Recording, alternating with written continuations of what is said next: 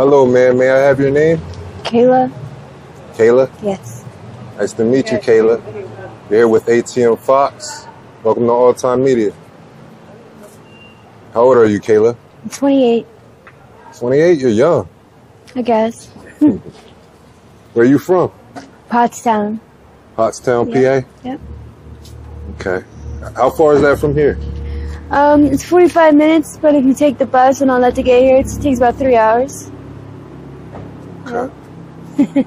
Three hours in Yeah. bus? Yeah, the bus and two, two trains. Is, is that what brought you out here to Kensington? You took the bus out here? Yep, every time.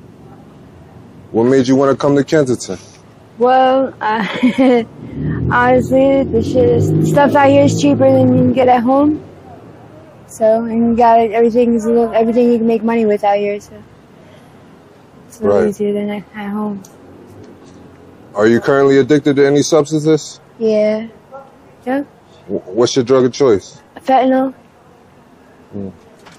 How often do you intake this substance? Probably about every hour on the hour. How do you use it? I smoke it and I shoot it. Hmm, hmm, How are you affording your addiction? As I said, it's everything's everything's everything is you know has a price out here. So you scrap or you boost and bring it here and you sell it, but everything's cheap too. So you don't get much for it. Right. How much would you say you're making a day? Um, on a good day, I make $150. But on the weekends, and yesterday was a Sunday, it's kind of really slow, so about 20 to 30, and that's, so I, you know, um, for two habits, that's, that's not a lot. How long have you been stuck out here? This time, uh, we've been about here two, I've been here two weeks about this time. We come out here at least three times a week. Because at home, you know, there's a lot of addictions at home that aren't being fed right now. So somebody's got to come out here and get it. Okay, so you're roughly fresh out here, but how long were you using at home? Um, this time since January, I just got out of I just got out of prison in January. Okay. Started again right away. But entirely, I've been doing drugs since I was 16. Since you were at 16. 16? hmm Oh. Okay. Who introduced you? What was that? Who introduced you? Friends. Um, my family, uh, my dad's an addict too, so I mean, it was always a part of my life. No, um, he's an he's an addict as well. So uh, methamphetamines. It's always, you know, it's gonna get loud here now. So I'm sorry you had to grow up like that. All right. Um, did that affect you, Yeah, a lot. childhood? How did it affect you? Um, well, growing up with addicts as parents, they weren't around, or you know, you don't have- you don't really have your necessities because everything goes to what they're addicted to. So, Huh. And then the mood much- swings was definitely something. You grew up pretty much less fortunate, huh? Yeah. Glad to hear that, Kayla. Um, I see you got tattoos. Yeah, a little couple pieces. You- You're very spiritual. Yeah, Or- definitely. You can definitely say that. right. What's your uh, higher power? Don't mind me asking. Um, I can't say it's a whole higher power. It's one of those things I gotta see it to believe in. The only one of the things I do know I do believe in is karma, and you know the whole what goes around comes around, and you know. Right. I'm, I'm, I'm assuming you, you keep a good slate out here. I try. Right. Um, boosting is how you make your way.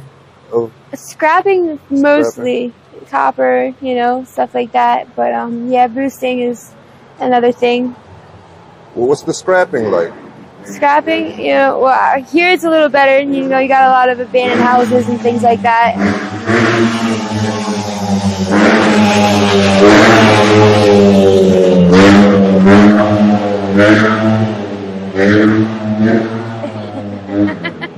Like that, huh? It's it's it's a little annoying sometimes. Now, you've been out here two weeks. You gotta Yeah, Get the H out of here. yeah, yeah, for sure. You think so? Yeah, um, been, I think I just got my whole purse robbed yesterday, so Mm. finally, finally lost everything out here, so. you know, kind of been holding it down for the most part, you know, minding Right. my P's and Q's, but, you know, they finally got me. Is that like the is that like the craziest thing that happened to you out here so far? Oh, no, um, craziest thing, I guess, would have to be that the, uh, well, yeah, I guess it comes along about being robbed, but this girl, uh, wanted to trade five ones for a five and just snapped on me, said I said something, and just started beating the shit out of me. and took, uh, took the rest of my money and $30 and God. back then, that's one of the craziest things. Or the shooting that happened down there at the bar, or the car chase that ended up in this guy, like, slamming his car into the brick building, which I was almost about to walk into. Wow. Within two weeks, you witnessed all of that, huh? Yep. This That- time, this trip, yeah. That doesn't scare you. You only been out here two weeks. Um, robbed at gunpoint, but that's not even scary. What? Um, I don't think he was gonna shoot. so, but yeah, two weeks, it's a lot in two weeks, but, How did you get out of here the first time? um, a friend brought me out here. He, uh, he, he actually moved out here, so I come and visit him, and he brought me out here for the first time because, you know, he said, he said stuff's cheap and it's easy. Okay. I, I said, how did how did you get out of here though? Oh, how do I, how do I get out? Yeah, how did you get out of Kensington? Oh, um, same way. I think I just take the bus home. I mean, I live in Okay. Tent City at home. I'm homeless here or there, so I mean, it's just You're, you're homeless there to too. Yeah. Where's your family? Um, a pain. They're pains in my asses. My uh, my mom took my kids while I was in jail. They uh, she just took for emergency custody. So it's a whole big long story. I have two kids. They're one and two years old, and my mom's a bitch. But she took my kids. So she don't. She doesn't let me anywhere near them. They don't answer my phone calls or anything. So. Sorry to hear that. Sorry to hear that. How old are your kids? One and two said. Oh, what's their names? My youngest is Isabel, and my oldest is Dakota. They're both girls. Oh, plan on getting back in their lives eventually. Yeah, I absolutely am. I was actually just saying yesterday about I'm gonna be looking into a rehab because I'm I'm about tired of this stuff. So Right.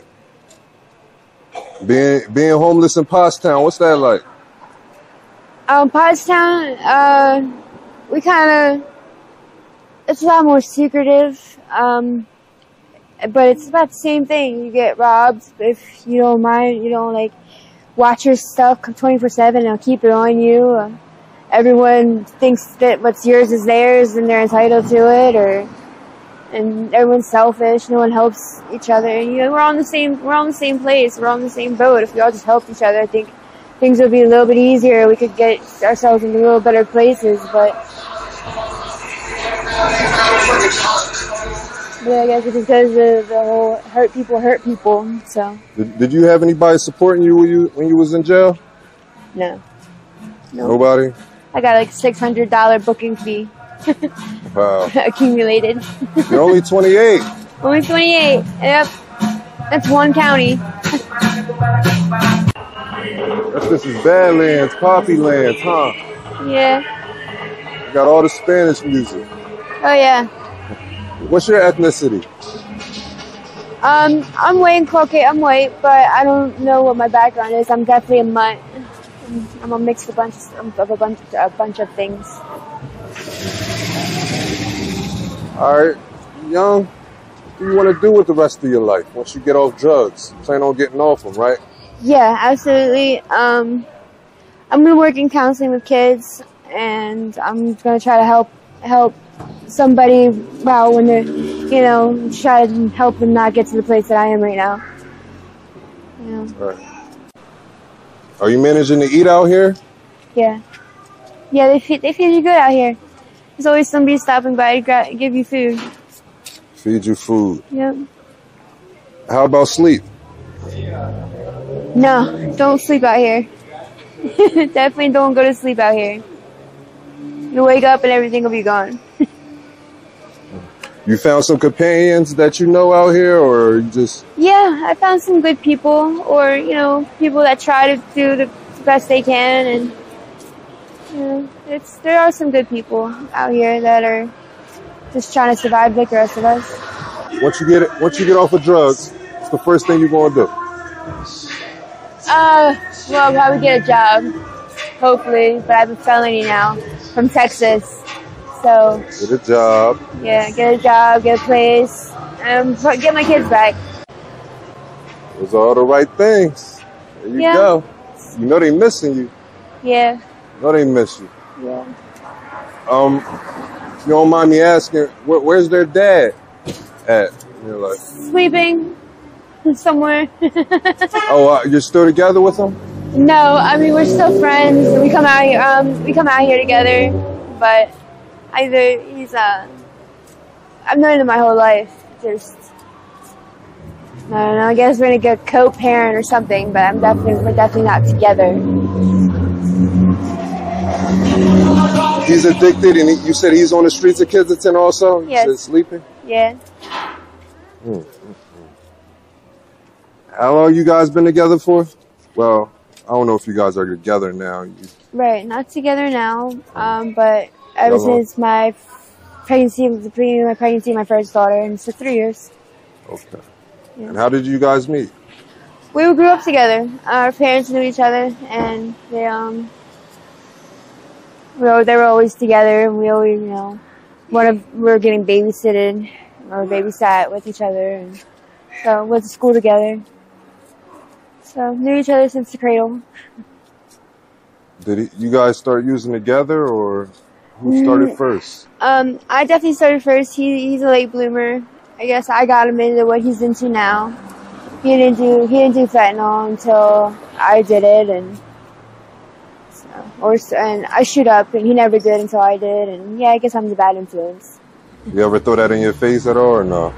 What's You know, that? Does he ever throw that in your face, or no? Oh yeah, for sure. Yep.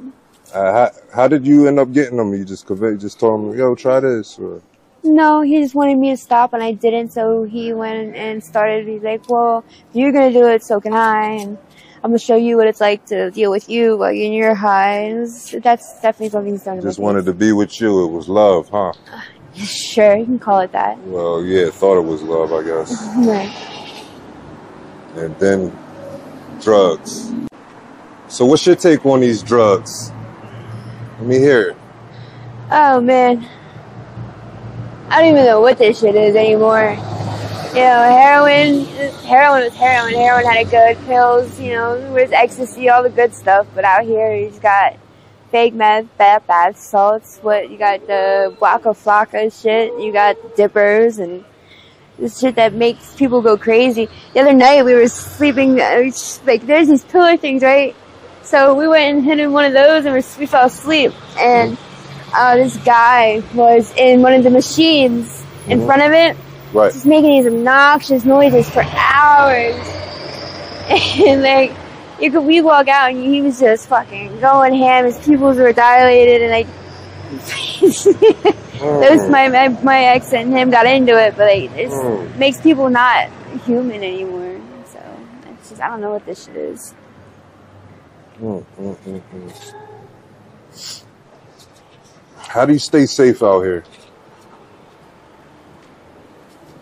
Um, I you gotta know how to watch your back, or watch your watch your friend's back, or have a friend that'll watch your back when you you're not. Because definitely, like I said, definitely have been at gunpoint and definitely got the shit beat out of me. So just you gotta know how to defend yourself. Now, now you you hang out on the L sometimes, Kensington. I mean, not the Um, L, the, the Ave. I Ave. meant to say. I said the Ave. Yeah, I walk. We walk Do, do these cars try to approach you? And uh, Yeah, all the time. All the time. how does that make you feel? Uh, I'm kind of used to it. I mean, they do it at home too, but it's, I mean, like, do I have like a prostitute written on my face? I don't know.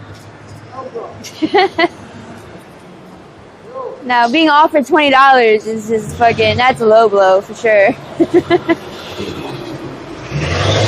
I heard that's like the normal wage out here, to be honest. Me too. Three hundred at home. It's 300 Yeah, in Pottstown. yeah. So, Definitely get three hundred. so you've done uh, the $300 dates out there, or Yeah, I've definitely had to support my habits. You know, that way at some point. Wh- what are those men like? The ones that uh, provide you with that amount? Are they different from the, the ones that try to lowball you? No, they're all the same. They're all the same. They're all the same. Any weird fetish requests? Uh, yeah. Yep. Definitely for sure. Like what? You got any example? You got, um, you got anything, everything you can ever hear of. You got the guys that, like, like, you know, you're, uh, what, golden showers. You have guys that like to dress in your clothes while you're, um, you know, pegging is. Pegging? No, I, I don't know what that is. What's that? the people know. Dude, you just look it up. Okay. these these sick sick uh idealistic perverts. I don't know what to call them. I guess, uh, you know, everyone, everyone, you know, got their got their taste. It is what it is. I, don't- you know, I don't necessarily mind it. Just, They just gotta pay extra or something. I just, yeah, I just don't like. I just don't like being thinking. I just like to be worth twenty dollars. Right. Um so have you uh worked them streets here or Nope. no? No, You you just know like here is not worth it to you or no, it's not like that. It's, I mean, when I when I did those dates at, uh, up in home, I did them with a set amount of people. I'm not a very good people person, so when I did it, like I, it was people that I knew. It was people that I known for quite a while, and it was people that and it was only the same five people throughout like a couple weeks. So like having it spread out, like it was it was an easy an right. easy to support my own habit with that amount of money. Oh, only with only five people, that's all I needed. You know, I don't I don't need the you know multiple people in a day or something like that. I can't I can't do that. I, I don't like people that much. Right. How bad is your habit? Bad, definitely bad. How, how many bags you Definitely was that? bad. I don't even know what that is. I don't even know what that is you just showed me. It's two bundles. Oh that oh that's what it looked like? Yeah, it's two bundles right here. Wow. Thirty-two bags.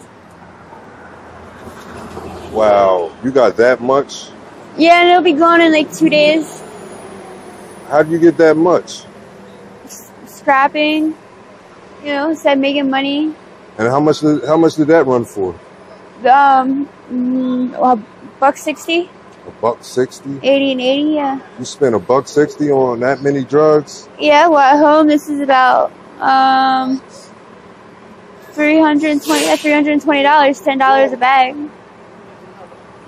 And um okay, you said they're gonna be gone. What are you gonna do with them? I'll go home and sell some of them.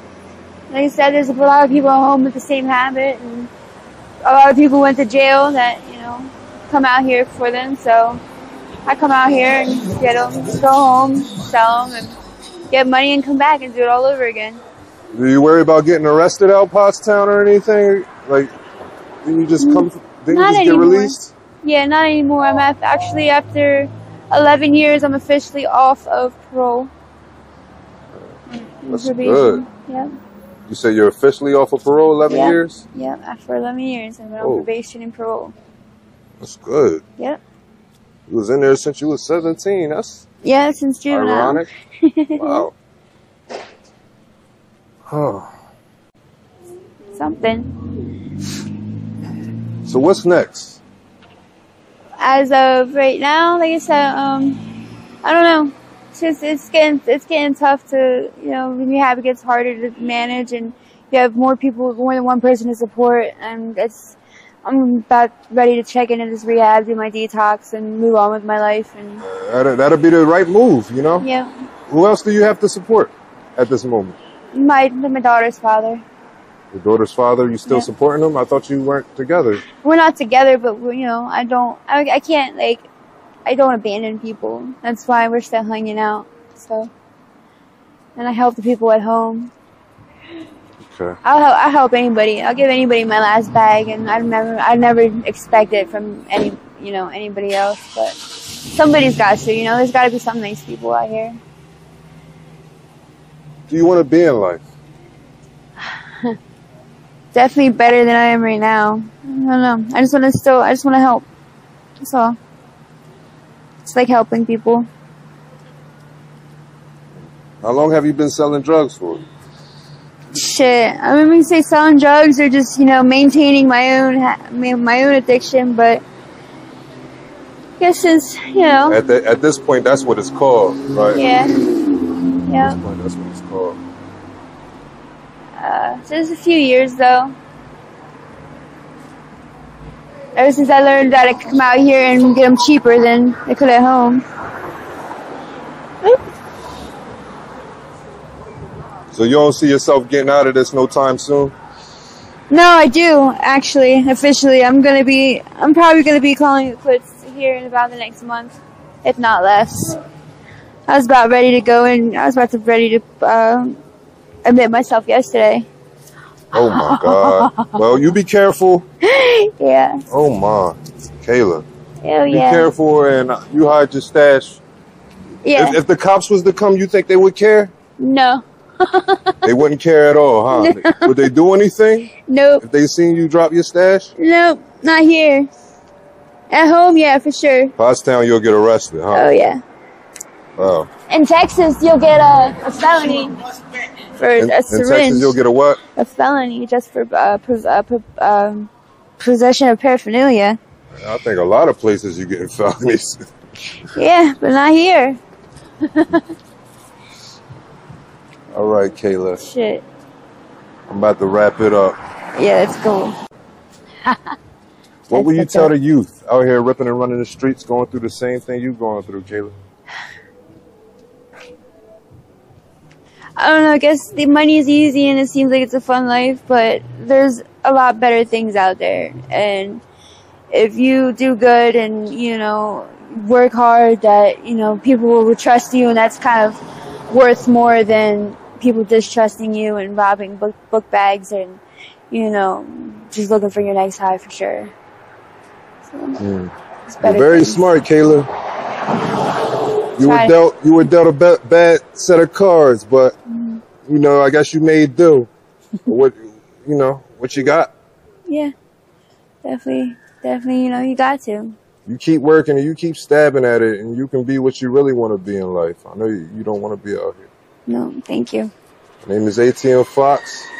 I make these videos for educational purposes only. You've been a wonderful interviewee for me. And All Time Media be praying for you. Thank you. Hi guys, USA Fox here. Like, comment, and subscribe. Thanks for tuning in.